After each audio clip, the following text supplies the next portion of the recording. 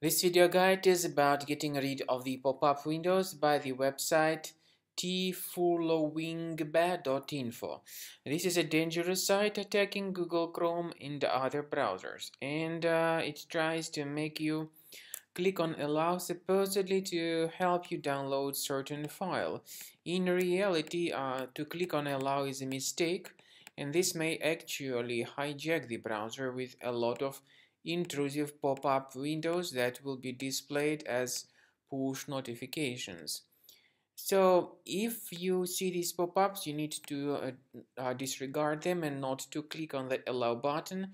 And if you have mistakenly done that, get your browser fixed by accessing the menu, settings, then choose privacy and security, go down to site settings and in uh, permissions choose notifications. Pay attention to all these sites allow it to send notifications. Remove the junk sites. Also, I recommend you to research the computer with a combo cleaner antivirus which can be found on the website combocleaner.com. So download the program, install the software and then start researching the computer to detect and eliminate other threats which could possibly still remain on your computer.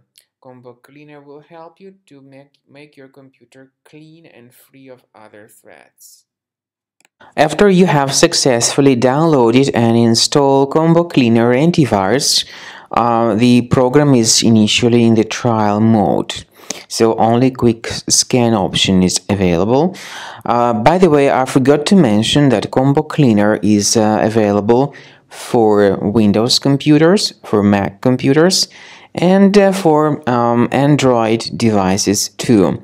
This information is uh, clearly seen on the official website, uh, which is uh, combocleaner.com.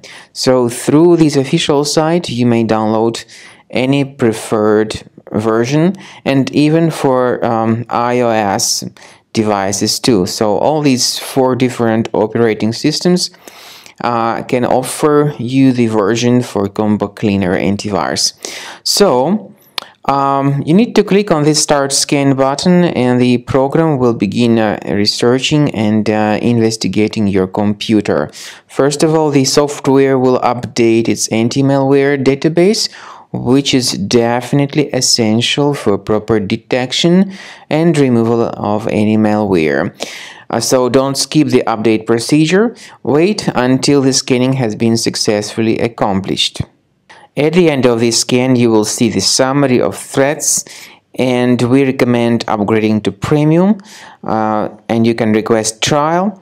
Combo cleaner will help you to remove all these threats automatically and keep your system free of other threats in the future